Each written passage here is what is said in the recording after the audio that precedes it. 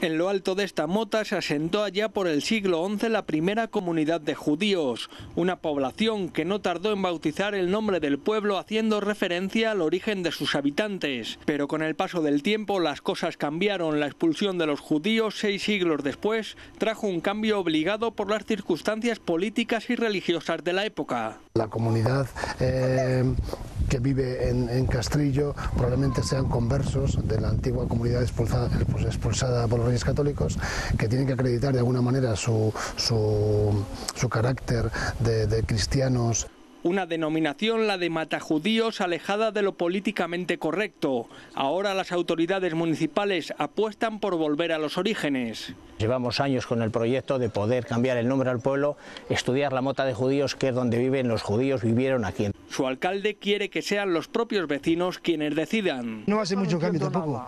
de llamarse matajudíos a mota de judíos. Como no se mató ningún judío en este pueblo, pues no, no veo razonable que esté ese nombre. Pues suena un poquitín fuerte, ¿no? El día 25 de mayo los 57 vecinos censados pasarán por las urnas para decidir si el cartel que da la bienvenida a los visitantes pasa a denominarse Castrillo Mota Judíos.